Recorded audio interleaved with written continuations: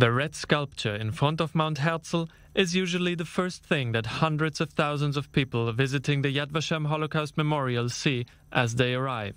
But their attention could soon be captured by another, much bigger landmark. A recently presented plan proposes a 40 stories high residential tower designed by the makers of the Burj Khalifa in Dubai. For the inhabitants of the Kiryat Hayovel neighborhood, the building project is one of many in a rapidly changing area. Some say the change is going too fast. The project it symbolizes for us all the things that are going wrong in, around this neighborhood.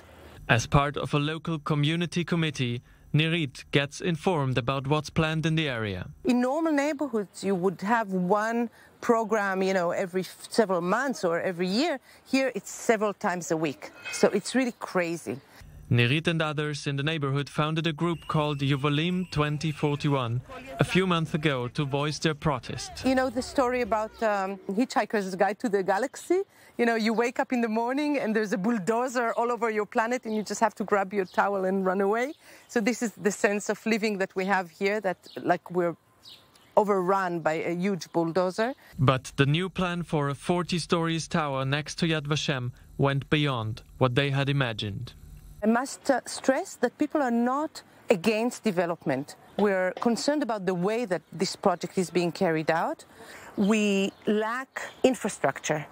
The city does not provide adequate solutions for transportation, for parking, for parks, for education, for culture, for employment. Someone who would have to live not only with the tower but right next to it is Rivka Ben Sasson, who has been in the neighborhood for 28 years.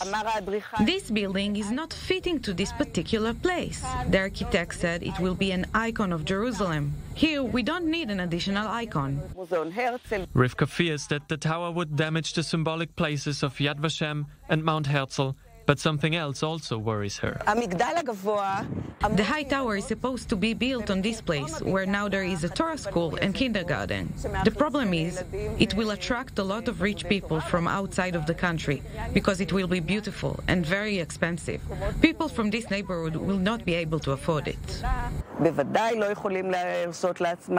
But Israel's growing population needs places to live. At the present moment, Professor Danny Ben Shachar at the University of Tel Aviv estimates a need for 60,000 new living units each year at the current rates. Therefore, he sees little alternative to building higher than three or four floors.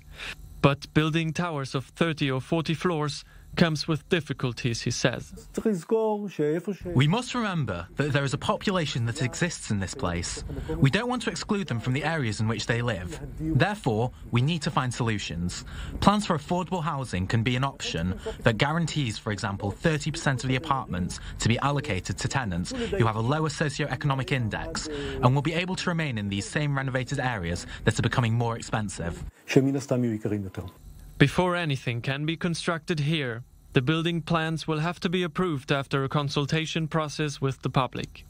There's still time for the residents of Kiryat Hayovel to join the discussion about the future of their neighborhood.